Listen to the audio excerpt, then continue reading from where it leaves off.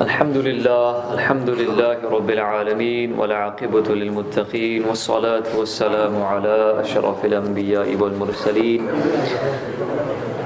وعلى آله وصحبه أجمعين. أما بعد فأعوذ بالله من الشيطان الرجيم. بسم الله الرحمن الرحيم. ولا تقولوا لمن يقتل في سبيل الله أموات بل أحياء ولكن لا تشعرون. صدق الله مولانا العلي العظيم. إن الله وملائكته يصلون على النبي. يا أيها الذين آمنوا صلوا عليه وسلموا تسليما. الله رب محمد صلى عليه وسلم. نحن عباد محمد صلى عليه وسلم. اللهم لا سهل إلا ما جعلته سهلا. وأنت يا حي يا قيوم تجعل الحزن إذا شئت سهلا. اللهم يا كريم أكرمنا بنور الفهم وأخرجنا من ظلمات الوهم. ولا حول ولا قوة إلا بالله العلي العظيم. قرآن شریف کی صورت البقرہ شریف کی آیت کریمہ جس میں اللہ رب العزت ہمیں حکم دے رہا ہے کہ جو اللہ کی راہ میں شہید کیے گئے ہیں، انہیں مردہ نہ کہو۔ ان کے انتقال کو لفظ موت کے ساتھ تعبیر نہ کرو، بلکہ وہ زندہ ہیں اور تمہیں اس کی خبر نہیں۔ تین چار درس قرآن ہم نے اس سلسلے میں کیے ہیں۔ آج بھی انشاءاللہ عزوجل آخری قسط اس کے متعلق پیش کی جائے گی۔ اور کس طریقے سے تاریخ کی روشنی میں اور جو حقیقتاً واقعات ہوئے ہیں۔ اس کی روشنی میں ہمیں یہ پتہ چلے گا کہ اللہ تعالیٰ کی راہ میں جو شہید کر دیے گئے ہیں، جو شہید ہو جاتے ہیں، وہ یقیناً زندہ ہے اور آج بھی اپنے مزارات مبارکہ میں اسی حالت میں موجود ہے جس طرح انہیں پہلے دن دفن کیا گیا۔ اس کی بے شمار مثالیں میں آپ کے سامنے پیش کر سکتا ہوں۔ وقت کی قلت کے پیش نظر صرف چند مثالیں آپ کے سامنے پیش کروں گا۔ تاکہ ہمیں بخوبی اس پر یقین ہو جائے کہ اللہ تعالیٰ کے شہداء، اللہ تعالیٰ کے اولیاء ان کا انتقال نہیں ہوتا ہے۔ وہ تو ایک گھر سے دوسرے گھر کی طرف منتقل ہو جاتے ہیں۔ پہلی مثال جو آپ کے سامنے پیش کرتا ہوں، یہ روایت موت امام مالک میں موجود ہے۔ شہداء احد، یہ جو جنگ احد ہوئی تھی، اس کے چھیالیس سال فورٹی سکس سال بعد جب ایک سیلاب آیا تھا، ایک فلڈ آیا تھا، جس کی وجہ سے شہداء احد کی قبریں منکشف ہو گئی تھی، ظاہر ہو گئی تھی، تو جب ان کے جسد اطہر کو نکالا گیا تھا، تو بالکل تر و تازہ تھے۔ خون بھی بالکل فریش تھا۔ اور خاص طور پر دو صحابہ کرام، دو شہداء کا ذکر کیا جاتا ہے جو شہداء عہد میں شمار کیے جاتے ہیں۔ سیدنا عمر ابن جموح اور سیدنا عبداللہ ابن عمر الانصاری رضی اللہ تعالی عنہما۔ ان دونوں کی مزارات پہ جب لوگ گئے اور ان کے جسد اطہر کو ان کی قبر سے نکالا اور دوسری قبر کی طرف منتقل کیا کیونکہ وہاں پہ پانی آ چکا تھا، تو جب انہوں نے ان کے جسم کو نکالا تو بالکل تر و تازہ تھے۔ یعنی کچھ بھی فرق یہاں تک کہ کفن مبارک بھی صحیح سالم تھا۔ اور یہ بھی میں آپ کے سامنے ایک واقعہ ذکر کرتا ہوں۔ یہ واقعہ بہت سالوں پہلے کا نہیں ہے نائنٹین تھرٹی ٹو یعنی سیونٹی ایٹی سال پہلے کا واقعہ ہے۔ دو جل قدر صحابی، حضرت حضیفت ابن یمان یا سیدنا عبداللہ ابن جابر الانصاری، بعض لوگوں نے حضرت جابر ابن عبداللہ بھی کہا ہے، تو ہو سکتا ہے اس نام کے اور بھی صحابی ہو، لیکن جو مشہور حضرت جابر ابن عبداللہ صحابی ہے ان کا مزار شریف تو جنت البقی شریف میں ہے۔ تو سیدنا حضیفت ابن یمان اور سیدنا عبداللہ ابن جابر الانصاری رضی اللہ تعالی عنہما، یہ دریائے دجلہ، جس کو ریور ٹھیگرس کہا جاتا ہے، یہ عراق میں ہے، دریائے دجلہ۔ بہت مشہور و معروف دریا ہے۔ اسی کے کنارے ان کے مزارات ہار مبارکہ تھے۔ وہاں پر ان کو سپرد خاک کیا گیا تھا۔ تو اس زمانے میں یہ 1351 اے ایچ 1932 کی بات ہے کہ اس عراق کا گورنر تھا، جس کا نام تھا شاہ ملک فیصل، وہ سعودی والا نہیں۔ ملک فیصل عراق کا ملک فیصل الاول۔ تو اس کے خواب میں یہ نیوز باقاعدہ نیوز اس کی کٹنگز موجود ہے اور اس کی باقاعدہ رپورٹنگ بھی ہوئی تھی۔ تو ملک فیصل کے خواب میں حضرت حضیفت بن الیمان رضی اللہ تعالیٰ عنہ تشریف لائے۔ اور انہوں نے فرمایا کہ ہمیں جلد اپنے قبر سے منتقل کرو، دوسری جگہ کی طرف منتقل کرو، کیونکہ ہمارے قبر کے اندر پانی آ چکا ہے۔ ایک رات یہ خواب دیکھا تو انہوں نے عام خوابوں کی طرح اس کو سمجھتے ہوئے اس کو ٹال دیا تو یہ شاید ایسے ہی خواب آیا ہوگا تو اس کو ٹال دیا۔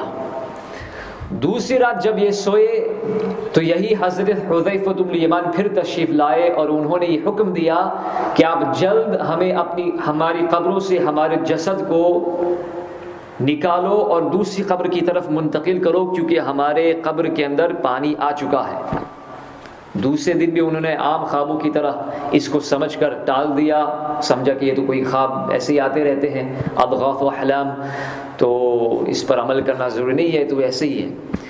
تیسری رات جب یہ خواب آیا اور حضرت حضیفت بن الیمان رضی اللہ تعالیٰ عنہ نے فرمایا کہ پانی ہماری قبروں کے اندر آ چکا ہے آپ ہمارے جسموں کو ہماری قبروں سے نکال کر دوسری جگہ منتقل کرے تو اس وقت اس کو پتا چلا کہ اب یہ تو حقیقت پر مبنی کوئی شے ہے۔ تو اس نے مفتیان کرام، عراق کے جو بڑے بڑے اکابر علماء تھے مشائق تھے مفتیان کرام تھے، ان کو بلایا۔ نہ صرف عراق کے، بلکہ شام کے، مصر کے مفتیان کرام کو بلایا، اپنا خواب ظاہر کیا۔ تو انہوں نے یہ سب فیصلہ کیا کہ ہاں ضرور ان کی قبر کو کھودنا چاہیے اور ان کے جسد اطہر کو نکالنا چاہیے۔ تو پھر کیا ہوا کہ انہوں نے جب حضرت حضیف اب یہ خبر مشہور ہو گئی، تو اس وقت حج کا موسم بھی تھا۔ تو حجاج بیت اللہ جو حج کرنے کے لیے مکہ شریف، مدینہ شریف آئے ہوئے تھے، انہوں نے عرض کی کہ شاہ ملک فیصل سے عرض کیا کہ آپ تھوڑا اس کو ملتوی کر دیں، حج کے دن کے بعد کریں، حج کے ایام کے بعد، تاکہ ہم بھی اس میں شرکت ہو، ہمارے، ہمیں بھی یہ شرف ملے کہ ہم صحابہ کرام کے مقدس جسم اثر کو دیکھیں، اس کی زیارت کریں۔ سبحان اللہ۔ تو بیس ذوالحجہ کی تاریخ مقرر کی گئی 1351 اے ایچ۔ جب ان کے مزارات کو، ان کی قبر کو کھودا گیا اور واقعی جیسا کہ حضرت حضیف ابن الیمان رضی اللہ تعالیٰ عنہ نے خواب میں بیان فرمایا تھا کہ پانی دریائے دجلہ کا پانی ہماری قبر میں آ چکا ہے، پانی بالکل ان کی قبر میں آ چکا تھا۔ ان کے جسد اطہر کو جب نکالا گیا تو ہزاروں لوگ وہاں پر موجود تھے، وہ سب لوگ عینی گواہ تھے۔ وہ فرماتے ہیں کہ ان کے جسد اطہر تقریباً چودہ سو سال یا تیرہ سو سال 1300 سال گزر جانے کے باوجود بھی ان کا جسم اتھر بھی سالم تھا، جس کفن میں ان کو لپیٹ کر دفنا دیا گیا تھا، وہ بھی کفن بالکل صحیح و سالم تھا۔ بلکہ ایک جرمنی کا ایک آئی فزیشن تھا، ایک آئی ڈاکٹر تھا، وہ بھی وہاں پر ایسی رپورٹنگ کرنے کے لیے آیا تھا، کیونکہ پوری دنیا میں یہ واقع مشہور تھا۔ تو وہ جب آیا، تو اس نے دیکھا کہ وہ آنکھ یعنی آنکھ کی جو روشنی جو عام طور پر مرنے کے ایک مہینے کے بعد جو چمک ختم ہو جاتی ہے، آج بھی تیرہ سال، تیرہ سو سال کے بعد بھی صحابہ کرام کی آنکھوں میں وہ چمک ابھی بھی موجود تھی۔ اور اس کو دیکھنے کے بعد اس نے فوراً اسلام قبول کر لیا۔ اللہ اس نے فوراً اسلام کی حقانیت اس کے سامنے ظاہر ہو گئی۔ اور اس واقعے کے بعد یہ بالکل اس کے لیے اسلام کی حقانیت ظاہر ہو گئی کہ اسلام ایک زندہ مذہب ہے۔ اسلام کے پیروکار شہدا بھی زندہ ہے۔ اپنے مزارت اس نے فوراً اسلام قبول کر لیا۔ یہ جو یہ اس کی نیوز پیپر کٹنگ ہے اور جو بیچ میں جو یلو کلر کا جو سرکل ہے، دائرہ ہم نے کھینچا ہے، وہاں پہ یہ دو مزارات ان کے دو جسد اتھر ان کے جو کافنز ہے، جسد پاک ہے باڈی مبارک ہے، وہ وہاں پر موجود ہے۔ اور یہ آس پاس آپ لوگ جو گورنمنٹ کے نمائندے تھے، جو شاہ ملک فیصل تھا، وہ سارے موجود ہیں وہاں پر۔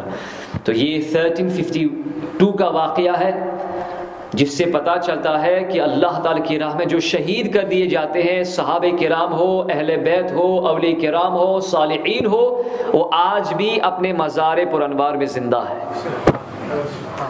تو یہ میں نے آپ کو تاریخ کے حوالے سے، تاریخی شواہد کے ذریعے آپ کے سامنے یہ واقعہ پیش کیا، ایک اور واقعہ آپ کے سامنے پیش کر دیا ان کے مزارات۔ اچھا تو جب یہ ان کے جسد ادھر کو نکالا گیا تو کہاں منتقل کیا گیا؟ تو حضرت سلمان فارسی رضی اللہ تعالیٰ عنہ کا مزاشی جو مدائی میں ہے مدائن، عراق میں۔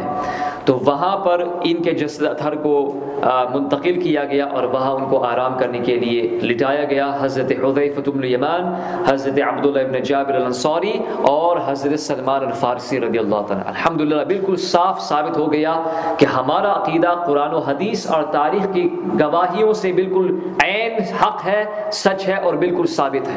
الحمدللہ رب العالمین۔ ایک اور واقعہ میں آپ کے سامنے پیش کرتا ہوں۔ میں جب میں جب شام میں تھا دماسکس میں، تو حضرت شیخ محی الدین ابن عربی رضی اللہ تعالیٰ کا مزار شریف ہے، جبل قاسیون کے اوپر، ماؤنٹ قاسیون، مشہور پہاڑ ہے۔ تو ان کے مزار شریف سے کچھ پہلے ایک اور مزار شریف ہے، لیکن وہاں پر انہوں نے ایکسیس ریسٹرکٹ کر دیا تھا لوگوں کو جانے کی، اجازت نہیں تھی، بالکل بند کر دیا تھا ان لوگوں نے۔ بند کیوں کیا؟ اس کو بھی میں واضح کروں گا۔ وہ کن کا مزار شریف ہے حضرت شیخ ایوب طاہر الکردی، کردستان کی بزرگ تھے رحمۃ اللہ تعالی علیہ۔ ان کا مزار شریف ہے۔ تو ان کا واقعہ کچھ یوں ہوا کہ جب شام کے اوپر ترکی لوگوں نے حکومت، انہوں نے کی اور ترکی لوگوں نے یہ شام پر حکمرانی کی، تو ایک ترکی گورنر تھے، ترکش گورنر، تو وہ لوگ ان کے، لوگ ان کو لے گئے حضرت کے مزار شریف پہ، شیخ ابو ایوب، شیخ ایوب طاہر الکردی رحمۃ اللہ علیہ کے مزار شریف پہ، اور کہا کہ یہ بہت بڑے بزرگ ہے اور اللہ تک کے بہت بڑے ولی تھے، صاحب کش بزرگ تھے۔ تو اس حاکم نے تنزیہ طور پر یہ کہا، یہ کردستانی لوگ یہ تو چوری کرتے ہیں، ڈکیتی ڈالتے ہیں، یہ کیسے ولی ہو سکے؟ کس نے اس کو ولی کا لقب دیا؟ معذر ایسی گستاخی کی اس نے۔ تو فوراً حضرت نے مزار شریف سے اپنا قدم باہر نکالا۔ اور اس حاکم کو یعنی لات ماری۔ اس حاکم کو لات ماری۔ پاؤں سے ضرب لگایا۔ اور اسی ضرب کی وجہ سے وہ مر گیا۔ تو لوگوں نے بہت کوشش کی، یہ یہ قدم تو باہر نکل گیا تو لوگوں نے بہت کوشش کی کہ مزار شریف کے اندر پھر ان کے قدم شریف کو رکھا جائے، لیکن جتنی کوشش کی، جتنی کوشش کرتے اندر داخل کرنے کی قدم اتنا باہر نکلتا تھا۔ تو انہوں نے قدم شریف کو ایسے چھوڑ دیا اور وول اور کاٹن کے ذریعے ان کے قدم شریف کو یہ یہاں تک انہوں نے چھپا دیا۔ آج بھی ان کا ان کا قدم شریف باہر موجود ہے اور کئی سالوں تک میں جب وہاں شام کے اندر تھا تو لوگوں نے بتایا، علماء کرام وہاں کے انہوں نے بتایا کہ وہاں پر لوگ ان کے ناخن مبارک کی تلاشی تبر کے طور پر لیے جایا کرتے تھے۔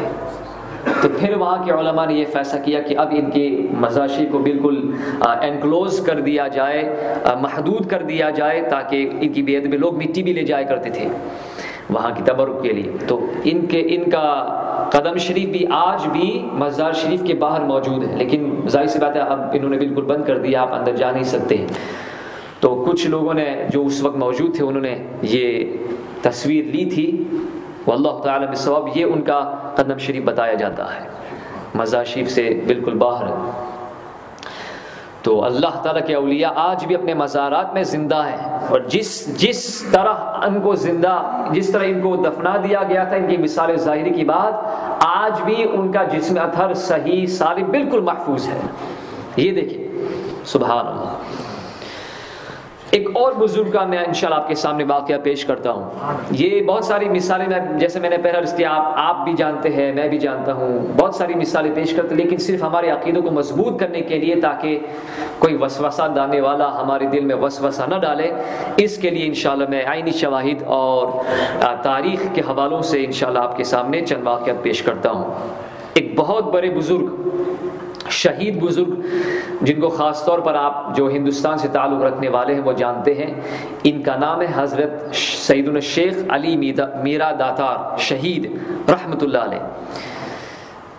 ان کی مزاشی پہ الحمد فقیر کی بھی ابھی گزشتہ سفر میں حاضری ہوئی تھی۔ تو ان کا انتقال اور ان کی شہادت انتیس محرم الحرام کو ہوئی۔ ایٹ نائنٹی سیون ہجری یعنی تقریباً پانچ سو چالیس سال کے آس پاس ان کا وصال ہوا، ان کی شہادت ہوئی۔ ان کا مزار شریف احمد احمد آباد شریف سے تقریباً دو ڈھائی گھنٹے کے سفر پر اناوا ایک علاقہ ہے۔ وہاں پر آپ کا مزار پرنوار ہے۔ ان کا واقعہ کیا ہوا؟ سبحان، کتنا عظیم واقعہ ہے ان کا۔ ایک گاؤں ہے مندا مندو گھر۔ یہ جس کو مانڈو بھی کہا جاتا ہے، یہ مدھیہ پردیش میں یہ پڑتا ہے۔ اور یہ دھر جو ایک سٹی ہے، اس سے تقریباً پینتیس کلومیٹر کی دوری پر یہ مندو یہ علاقہ ہے، مدھیہ پردیش میں۔ تو وہاں کا ایک حکمراں تھا، ہندو۔ بہت ہی ظالم تھا، بہت ہی خبیص قسم کا شیطانی قسم کا یہ حاکم تھا جو مسلمانوں پر بہت ظلم و ستم کیا کرتا تھا، جس کا نام مہندی راج تھا۔ تو یہ مہندی راج بہت ظالم تھا اور یہ سحر یعنی جادو کے بلبوٹے پر لوگوں پر ظلم کیا کرتا تھا، لوگوں کو کفر پر آمادہ کرتا تھا شر کی دعوت دیتا تھا لوگوں کو، مسلمانوں کو جبرن اسلام چھوڑنے پر مجبور کرتا تھا۔ جادوگروں اور جادوگری کے ذریعے اس نے یہ ساری طاقتیں حاصل کی تھی۔ تو ایک مرتبہ ایسا ہوا کہ کچھ مسلمان اس علاقے سے دلی گئے اور دلی میں وہاں پر ایک بادشاہ تھے جن کا نام لودھی بادشاہ تھا۔ تو لودھی بادشاہ کے سامنے انہوں نے شکایت کی کہ یہ مہندی راج جو ہے بہت ظالم ہندو کٹر قسم کا دشمن ہے، مسلمانوں کا مسلمانوں پر ظلم کرتا ہے۔ ٹیررزم کرتا ہے اور طرح طرح کی ظلم و ستم ڈھاتا ہے مسلمانوں کے اوپر۔ تو یہ جو دلی میں لودھی بادشاہ تھے، انہوں نے خط لکھا، ایک مشہور معروف احمد آباد کے بزرگ بادشاہ، حضرت محمود بیگرا ان کو یہ خط لکھا۔ یہ محمود بیگرا کون تھے؟ انشاءاللہ مزید تفصیل کے ساتھ کبھی کسی موقع ملے گا تو انشاءاللہ ان کی سوانہ حیات ذکر کی جائے گی۔ یہ بہت بڑے بزرگ بھی تھے اور بادشاہ بھی تھے۔ اللہ کے ولی بھی تھے۔ سلطان احمد بادشاہ جو تھے، جنہوں نے جو چار یا پانچ احمد جنہوں نے احمد آباد کو آباد کیا تھا، ان سلطان احمد شاہ، ان کے یہ فرزند ارجمند ہیں۔ محمود بیگرا ان کا مزار پرنوار، سرکھیج، جو سرکھیج شریف جہاں پہ حضرت شیخ احمد کھٹو رحمۃ اللہ المغربی، رحمۃ اللہ علیہ کا مزار پرنوار، اس کے بالکل ہی سامنے، اس کے احاطے میں ان کا مزار شریف الحمد للہ گزشتہ سفر میں میری ان کی آسانی پر حاضر بھی ہوئی تھی۔ تو سلطان محمود بیگرا رحمۃ اللہ علیہ نے حضرت میرا علی داتا رحمۃ اللہ علیہ کے والد بزرگ دوست محمد کو خط لکھا۔ کہ آپ ایک لشکر تیار کرو اور یہ جو علاقہ تھا مانڈو، وہاں پر آپ حملہ کرو، یہ ظالم بادشاہ اس کو گرفتار کرو۔ تو حضرت سیدی علی میرا داتا رحمۃ اللہ کے والد بزرگ جن کا نام دوست محمد تھا رحمۃ اللہ علیہ انہوں نے بارہ ہزار کا لشکر تیار کیا اور کنگ محمود محمود بادشاہ بیگرا ان کے ساتھ انہوں نے حملہ کیا۔ دو تین حملے کیے لیکن ہر دفعہ وہ ناکام رہے۔ They, they failed each time تو محمود بادشاہ کو بہت پریشانی لاحق تھی کہ مسلمان پر ظلم ہو ہو رہا ہے اور دو تین دفعہ ہم نے حملہ کیا۔ کامیابی نہیں مل رہی ہے۔ یہ ظالم بادشاہ گرفتار نہیں ہو رہا ہے۔ تو پھر اللہ تعالیٰ نے خواب میں الہام دیا۔ محمود بیگرا بادشاہ کے خواب میں اللہ تعالیٰ نے یہ بات ڈالی کہ اگر تم کامیابی چاہتے ہو تو سید علی داتار کو اس لشکر کے اندر شامل کرو۔ اگر یہ شامل ہو گئے ہو جائیں گے لشکر اسلام کے اندر، تو انشاءاللہ جب آپ حملہ کریں گے تو اللہ تعالیٰ ضرور تمہیں کامیابی عطا فرمائے گا۔ تو حضرت دوست محمد رحمۃ اللہ علیہ نے اپنے صاحبزادے حضرت سعید الشیخ سید علی رحمۃ اللہ علیہ کو حکم دیا، بادشاہ کے کہ بادشاہ کہتا ہے کہ تم لشکر میں شامل ہو جاؤ اور حملہ کرو۔ تو سید علی رحمۃ اللہ علیہ، اللہ تعالیٰ آپ کو بہت شجاعت اور طاقت عطا فرمائی تھی۔ اس وقت پتہ ہے ان کی عمر کتنی تھی؟ صرف اٹھارہ سال کے کریل نوجوان تھے۔ اٹھارہ سال کے۔ اور یہ بتایا جاتا ہے کہ آپ کی انہی دنوں میں شادی ہوئی تھی، ابھی ابھی شادی ہوئی تھی۔ لیکن جب جہاد کا حکم آیا تو سب کچھ چھوڑ کر اللہ تعالی کی بارگاہ میں جہاد کرنے کے لیے چلے گئے۔ تو آپ جب راستے سے نکلے منداؤ گھر جانے کے لیے تو ایک راستہ پڑتا تھا جس کو لیلا پور کہا جاتا ہے، جس کو آج لوگ اناوا کہتے ہیں۔ اس کا پرانا نام لیلا پور تھا۔ تو جب یہ یہاں پہنچے تو آپ مسواک، آپ نے مسواک کی مسواک کی آپ نے۔ اور وضو فرمائے مسوا کیا اور نماز پڑھی۔ کیونکہ سفر کے دوران آپ جا رہے تھے اس جہاد میں، اللہ تعالی کی راہ میں تو نماز اللہ فرمائی اور مسواک کو اس جگہ گاڑ دیا، یہاں لیلا پور میں، جس کو اناوا کہا جاتا ہے۔ اور اپنے دوست احباب سے یہ فرمایا کہ اگر مجھے شہید کر دیا جائے تو مجھے اسی جگہ پر آپ دفن کر دینا۔ اگر مجھے شہید کر دیا جائے تو جہاں کہیں میرا جسد اتھر ہو، اس کو لا کر کے یہیں پر دفنا دینا۔ اور میری شہادت کی علامت یہ ہوگی کہ جو میں نے مسواک یہاں پر گارا ہے دفن کیا ہے، وہ ایک تناور درخت بن جائے گا۔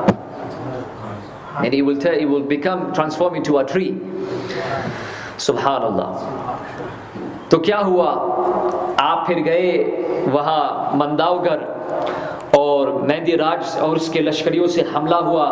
وہ سارا لشکر تباہ و برباد ہو گیا۔ مسلمانوں کو الحمد اللہ تعالی فتح عطا فرمائی۔ کافر، کافروں کا لشکر شکست ہو گیا۔ تو مہندی راج ایک بھاگتی ہوئی لومڑی کی طرح بھاگنے لگا۔ تو اس نے ایک پہاڑ کی کوہ میں پناہ چاہی۔ ایک پہاڑ، پہاڑی علاقہ تھا جس کے اندر ایک کیو تھی۔ کیو کے اندر اس نے اپنے آپ کو چھپانے کی کوشش کی، لیکن سید علی میرا داتا رحمت اس کے پیچھے پیچھے چلتے رہے۔ اور دونوں کے درمیان لڑائی ہوئی۔ تو پھر بادشاہ مہندی راج نے یہ کہا، اللہ کی قسم دی اور کہا کہ ان کہ اللہ کی قسم میں دیتا ہوں کہ آج کے بعد میں مسلمانوں پر ظلم نہیں کروں گا اور میں اللہ سے، خدا سے، تمہارے خدا سے میں معافی چاہتا ہوں۔ جو کچھ بھی میں نے ظلم کی ہے، میں اس سے معافی چاہتا ہوں۔ آج کے بعد میں مسلمانوں کو اپنے علاقے میں پناہ دوں گا، انہیں امن و امان عطا کروں گا، ان پر کوئی ظلم نہیں کروں گا۔ تو حضرت میرا علی داتا رحمۃ اللہ اس وقت تلوار کو رکھ دیا زمین پر۔ کیا کیا؟ زمین پر رکھ دیا تلوار کو۔ تو کیا ہوا؟ مہدی راج کافر تھا، اس نے دھوکہ دیا۔ تو اس نے اب تلوار اٹھائی اور حضرت میرا داتا رحمۃ اللہ علیہ کے سر مبارک کو تن سے جدا کر دیا۔ He severed the blessed head of Sayyid Ali Mira Data Rahmatullah alayhi from the neck separated it from the body. لیکن خدا کی شان دیکھی شہید شہادت کے بعد بھی زندہ ہے۔ یہ سمجھ رہا تھا کہ اب ان کا تو انتقال ہو گیا؟ تو حضرت حضرت کا جسد اتھر زمین پر آیا، تو پھر دوبارہ جسد اتھر اٹھا، کھڑا ہوا۔ اور آپ نے اپنے جسد اتھر سے جو ہاتھ مبارک ابھی تک تھے، اس سے تلوار پکڑی اور پھر کافر پر ایسا وار کیا کہ اس کے ٹکڑے ٹکڑے کر دیے۔ شہادت کے بعد بھی یعنی یہ this there's a jugular, jugular vein here. The jugular vein if someone severs the jugular vein here then there is no way whatsoever that life can be restored to that person. لیکن اللہ کی شان دیکھے شہادت کے بعد بھی آپ کا تن الگ ہے آپ کا سر الگ ہے تن مبارک کھڑا ہو گیا تلوار ہاتھ میں لی اور کافر پر ایک بار کیا اس کے ٹکڑے ٹکڑے کر دیا۔ اب کافر کا جسم وہاں پر ہے، حضرت کا جسر ادھر بھی وہاں پر تشریف فرما ہے۔ تو اب کس کو پتا چلے کہاں پر ہے؟ یہ تو پہاڑ کی کوہ کے اندر ہے۔ تو دوسرے ہی دن حضرت میرا داتا رحمۃ اللہ علیہ اپنے دادا بزرگ شیخ علم الدین رحمۃ اللہ علیہ کے خواب میں آئے اور کہا کہ میں فلا فلا پہاڑ کی کوہ میں ہوں، میرا جسد اتھر اٹھا کر اناوا شریف لے آؤ اور یہیں پر مجھے دفنا دو یہیں پر مجھے سپرد خاک کر دو۔ تو چنانچہ دوسرے دن آپ آپ کے والد بزرگوار، آپ کے دادا حضرت شیخ علم الدین رحمۃ اللہ علیہ اور بادشاہ محمود بیگرا رحمۃ اللہ علیہ، یہ سارے قافلہ لے کر کے وہاں پر گئے اور تلاش کیا، تلاش کرتے کرتے ان کو، ان کا جسد اثر بالکل صحیح سالم ملا۔ آپ کا سر مبارک شریف بھی وہاں پر موجود تھا۔ تو ایک اونٹ کے اوپر آپ کا جسد اثر رکھا گیا۔ تو جب یہ سفر کرتے رہے، سفر کرتے رہے، سفر کرتے رہے تو جب اونٹ کو ہانکتے رہے آگے تو اونٹ آگے ہی نہیں بڑھتا ہے۔ جب یہ اناوا جگہ آئی، یہ جگہ جب آئی، یہ لیلا پور جس کو کہا جائے، یہ جب جگہ راستے میں آئی اور اونٹ کو آگے بڑھانے کی کوشش کی تو اونٹ وہیں پر کھڑا کھڑا رہ گیا۔ اور جب دیکھا تو جو جس جگہ پر حضرت میرا داتا رحمۃ اللہ علیہ نے مسواک کو دفن کر دیا تھا، اسی جگہ پر ایک تناور درخت موجود ہے۔ تو یہی پر آپ کی وسیعت مبارک کے مطابق آپ کو سپرد خاک کیا گیا۔ آج بھی آپ کا مزار پونوار مرج خواص و عوام ہے۔ وہاں پر جا کر کے لوگ شفا یاب ہوتے ہیں، بالخصوص جس پر سحر یا جادو یا عمل صفری کیا گیا ہو۔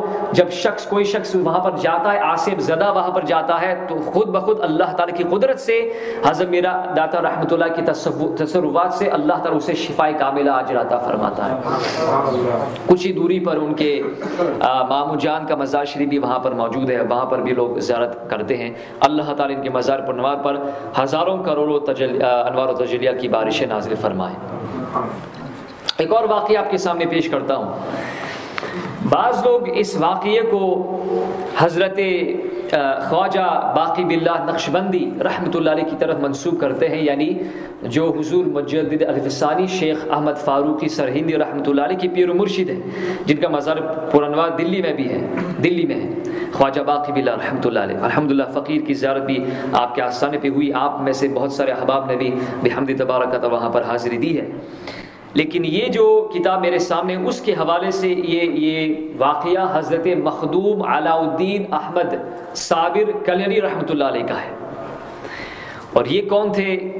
یہ سبحان اللہ اتنے عظیم بزرگ ہیں سبحان اللہ کی خود ان کے پیر و مرشد ان کے اوپر فخر فرمایا کرتے تھے۔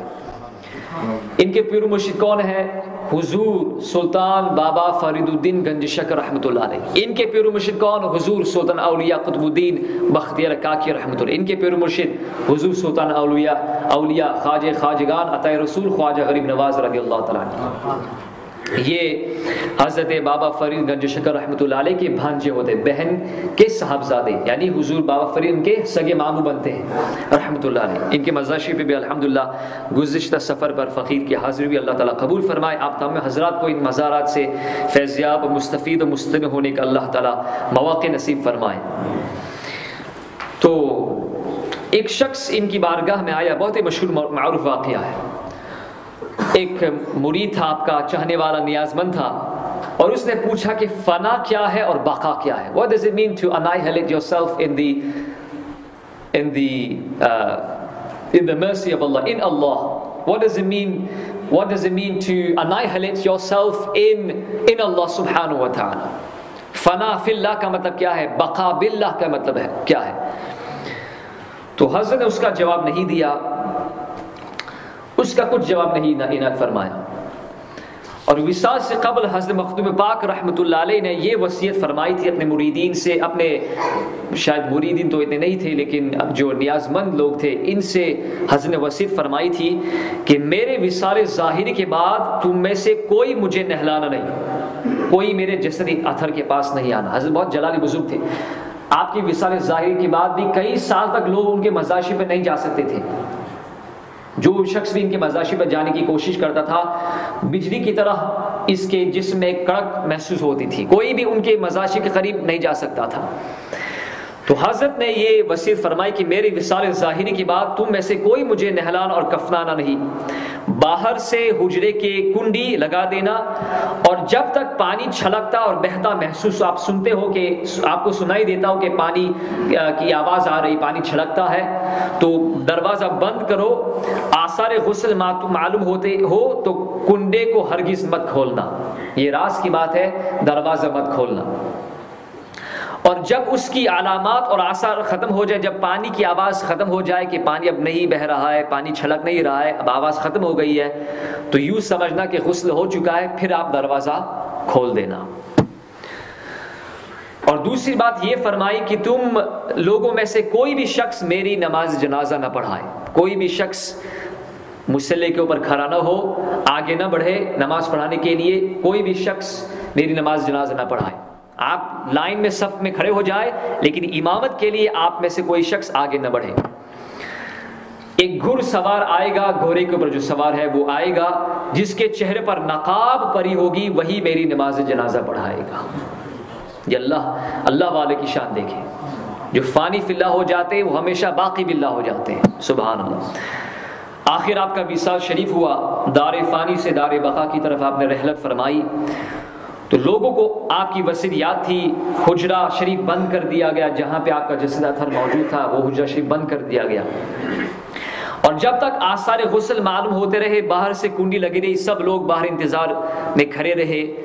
جب غسل کی اور پانی کی آواز پانی کی آواز محسوس ہوتی رہی، انہوں نے دروازہ بند کر کنڈی لگائی رکھی۔ اور جب یہ علامت ختم ہو گئی، جب بالکل ہی آواز مدہم پڑ گئی، بالکل خاموشی چھا گئی، تو حجرہ کھول انہوں نے کھولا۔ تو کیا دیکھا؟ سب کی آنکھیں پھٹی کی پھٹی رہ گئی، کھلی کی کھلی رہ گئی کہ مخدوم پاک رحمۃ اللہ علیہ نہلائے اور کفنائے جا چکے ہیں اور غیب سے اللہ تعالیٰ نے ان کے اوپر ان کے جسد اوپر اتھر کے اوپر کفن رکھا ہوا ہے۔ غسل بھی ان کو دے دیا گیا ہے، کفن بھی پہنایا گیا ہے۔ لوگ حیرت زدہ تھے آخر ہم کیا دیکھ رہے ہیں؟ اب اسی عالم حیرانی میں اس گھوڑ سوار گھڑ سوار کا انتظار ہو رہا تھا، جو گھوڑے کے اوپر سوار تھا، جو نماز جنازہ پڑھائے گا۔ لوگ آنکھیں پھاڑ پھاڑ کے دیکھ رہے کہ کہاں ہے وہ گھوڑ سوار، کہاں ہے وہ گھوڑ سوار۔ تو کافی دیر ہو گئی، یہاں تک کہ دور سے ایک گھوڑے کی آواز آئی اور گھڑ سوار نظر آیا جس کے چہرے کے اوپر نقاب پڑا ہوا تھا۔ تو گھوڑ سوار قریب آیا۔ سب لوگوں نے صفے تو پہلے ہی سے بچھی رکھی تھی صفے سیدھی بنائی ہوئی تھی۔ تو وہ مسلح امامت پر کھڑے ہوئے، گھوڑے سے اترے، فوراً مسلح امامت پر کھڑے ہوئے اور انہوں نے نماز جنازہ ادا فرمائی۔ لوگوں نے ان کے پیچھے نماز جنازہ پڑھی۔ نماز پڑھانے کے بعد اب یہ گھڑ سوار آگے بڑھا تاکہ سوار ہو کر پھر واپس چلے جائے، تو اسی اسنا میں ایک معتقد خاص آگے بڑھا اور عرض کیا، حضور، جب حضرت مخدوم پاک رحمۃ اللہ کی سوانح حیات لکھی جائے گی تو جب ہم ان کی نماز جنازہ کے بارے میں وصال ظاہری کے بعد جو حالات قوائف ہیں، اس کے بارے میں جب ہم قلم بند کریں گے، کچھ حالات قلم بند کریں گے، تو پھر یہ آپ کی سوانح حیات، ان کی سوانح حیات ادھوری رہ جائے گی کہ ہمیں پتہ ہی نہیں کہ کس نے مخدوم پاک رحمۃ اللہ کی نماز جنازہ پڑھا ہے آپ کم از کم اپنا نام تو بتائیے۔ تو اتفاقاً وہی شخص تھا جس نے پہلے اپنی ان کی زندگی میں سوال کیا تھا کہ فنا کیا ہے؟ اور بقا کیا ہے؟ مخدم پاک نے جواب نہیں دیا تھا۔ اتفاقاً وہی شخص آج اس گھڑ سوار کے پاس موجود ہے۔ منت و سماجت کرتا کہ حضور خدا را یہ سمان حیات نامکمل ہو جائے نامکمل رہے گی۔ آپ کم از کم اپنے چہرے سے اپنے اپنا نقاب اٹھائے، بے نقاب ہو جائے اپنے چہرے کو نقاب سے اٹھائے۔ تو اللہ اکبر، یہ سن کر گھڑ سوار نے چہرے کا نقاب الٹ دیا، نقاب اٹھتے ہی مجمع حیرت زدہ حکا بکا رہ گیا۔ سنات اور سکتے کا عالم چھا گیا۔ آنکھیں کھلی کی کھلی رہ گئی۔ معتقد خاص نے ہمت کر کے دریافت کیا، اے حضور، آخر ہم کیا دیکھ رہے ہیں؟ کیونکہ سامنے کوئی اور ہے اور یہاں پر کوئی اور۔ تو حضرت نے فرمایا، جب یہ نقاب آپ آپ کے چہرے سے نقاب اٹھایا گیا تو کوئی اور شخص نہیں تھا، حضور مخدوم علاؤ صابر کلی ہی موجود تھے۔ جنازہ بھی ان کا پڑھایا گیا۔ جنازہ پڑھانے والی شخص بھی وہی۔ تو معتقد خاص نے کہا کہ حضور، یہ معاملہ سمجھ میں نہیں آ رہا۔ آپ اس راز کو کھول کر کے بیان فرمائے تو حضرت نے فرمایا، تو نے زندگی میں مجھ سے سوال کیا تھا کہ فنا کیا ہے، بقا کیا ہے؟ تو سن، فنا وہ ہے جو تو کفن میں جو کفن میں لپٹا ہوا شخص جو تو دیکھ رہا ہے وہ فنا ہے اور یہ جو جسم تو دیکھ رہا ہے وہ بقا ہے۔ جو شخص اللہ کی محبت میں اپنے آپ کو فنا کر دیتا ہے، اللہ تعالیٰ اس کو ختم نہیں فرما دیتا ہے۔ اللہ تعالیٰ اسے زندہ جاوید فرماتا ہے، اسے دائمی زندگی عطا فرماتا ہے۔ یہ میں ہوں، میں اللہ کی طرف سے مجھے بقا بقا کی زندگی اللہ تعالیٰ مجھے عطا فرمائی ہے۔ اور جو وہ، جو تو دیکھ رہا ہے، جس پر تو نے نماز جنازہ پڑھائی، وہ وہ فنا فی اللہ ہے۔ فنا فی اللہ کے بعد اللہ تعالیٰ آدمی کو بقا باللہ کی منزل عطا فرماتا ہے۔ تو یہ اولیاء کرام آج بھی اپنے مزارحات ہائے مبارکہ میں زندہ ہے میں ایک صرف ایک آخری مثال آپ کے سامنے پیش کرتا ہوں۔ ہم اپنی آنکھوں سے دیکھتے ہیں، ہم اولیاء کرام کو اگر اللہ تعالیٰ میں سارت فرمائے، غسل دیتے ہیں، ان کے غسالے سے ہم تبرک حاصل کرتے ہیں، ان کے نماز جنازہ کے پڑھنے کے صدقے میں اللہ تعالیٰ ہمیں بخش دیتا ہے، مغفرت فرماتا ہے۔ ہم یہ سمجھتے ہیں کہ یہ تو انتقال، وصال فرما چکے ہیں، دار فناس سے، دار بقا کی طرف انہیں کوچ کیا ہے۔ لیکن میں ایک بات بتا دوں آپ کو کہ آج بھی اولی کرام اپنے مزارہائے مبارکہ میں زندہ ہے اور ایسے ہی تصرف فرماتے فرماتے ہیں جس طرح وہ ظاہری زندگی میں تصرف فرمائے کرتے تھے۔ میں ایک آخری مثال آپ کے سامنے پیش کرتا ہوں اس کی بہت ساری مثالیں ہیں، لیکن صرف آخری مثال اس پر اختتام کرتا ہوں۔ حضور سرکار مفتی اعظم ہند رحمۃ اللہ کا واقعہ میں آپ کے سامنے پیش کرتا ہوں۔ سرکار مفتی اعظم ہند، حضور ہم شبی غوث اعظم سلطان الاولیاء شہزاد اعلیٰ حضرت سرکار مصطفیٰ رضا خاں رحمۃ اللہ علیہ رحمت نواسیہ ان کا وصال ظاہری ہوا تو ان کے جسدہ تھر کو جب ٹیبل پر رکھا گیا غسل دینے کے لیے۔ تو لوگ جب غسل دے رہے تھے تو ایک ستر کی جو پردے کی چادر مبارک شریف تھی اس کو رکھا گیا تھا آپ کے جسدہ تھر کفن شریف سے پہلے پہلے۔ تو ہوا آئی اور بے اختیار وہ چادر ہٹنے والی تھی۔ سطر کا مقام جو گھٹنوں سے، گھٹنوں کا حصہ ہے، وہ کھلنے والا تھا۔ تو تو عین شواہد جو وہاں پر لوگ موجود ہیں، جس میں حضور تاج الشریعہ، دامت برکت بھی موجود تھے، وہ بھی عینی شواہد۔ انہوں نے بھی اس کا ذکر فرمایا۔ وہ فرماتے ہیں کہ ہم نے دیکھا کہ سرکار مفتی اعظم رحمۃ اللہ علیہ نے اپنی یہ دونوں انگلی، ایک شہادت کی انگلی اور بیچ والی انگلی کو دونوں ہاتھ سے اس طرح چادر کو پکڑ رکھا ہے۔ یعنی جیسا زندہ شخص اپنی چادر کو پکڑتا ہے سطر عورت سے سطر عورت کے لیے اور عورت بے پردگی سے اپنے آپ کو بچانے کے لیے اسی طرح سرکار مفتی اعظم رحمۃ اللہ علیہ نے جنازہ گاہ میں غسل خانے کے اندر اپنی چادر مبارک کو اپنے ہاتھوں سے پکڑ لیا۔ اور جب ہم نے بالکل اس کو کور کر لیا، تب جا کر مفتی اعظم رحمۃ اللہ علیہ نے اپنے ہاتھ سائڈ پہ کر دیے۔ اللہ اکبر۔ الاولیاء لا يموتون ولكن ينتقلون من دار الى دار۔ اولیاء کرام ان کو ان کی ان, ان کو موت ان پر موت صرف تھوڑی وقت کے تھوڑی سے وقت کے لیے آتی ہے۔ پھر اللہ تعالیٰ انہیں دائمی زندگی عطا فرماتا ہے۔ وہ مرتے نہیں ہے ان کا انتقال نہیں ہوتا ہے۔ وہ صرف ایک ایک جگہ سے دوسری جگہ منتقل ہوتے ہیں۔ دار فنا سے دار بقا کی طرف کوچ کرتے ہیں اور اللہ تعالیٰ ان کے تصرفات اور زیادہ فرما دیتا ہے۔ جتنی وہ زندگی میں تصرفات اختیار اللہ تعالیٰ نے ان کو عطا فرمایا اس سے بڑھ کر کے اللہ تعالیٰ انہیں قوت عطا فرماتا ہے، تصرفات کی اختیارات اللہ تعالیٰ انہیں عطا فرماتا ہے۔ رب ذوالجلال ان تمام پاکان امت کے مزارات ہائے مبارک پر ہزاروں کروڑوں انوار تجلیات کی بارشیں نازل فرمائے۔ اللہ تعالیٰ ان اولیاء کرام کے صدق و طفیل میں ہمیں شہادت کی موت نصیب فرمائے اور اللہ تعالیٰ ہم سب کو ان کے صدق و طفیل میں بے حساب مغفرت سے ہم کنار فرمائے۔ ہماری تمام عبادتوں کو اللہ تعالیٰ قبول فرمائے۔ وما علينا إلا البلاغ. السلام عليكم ورحمة الله وبركاته.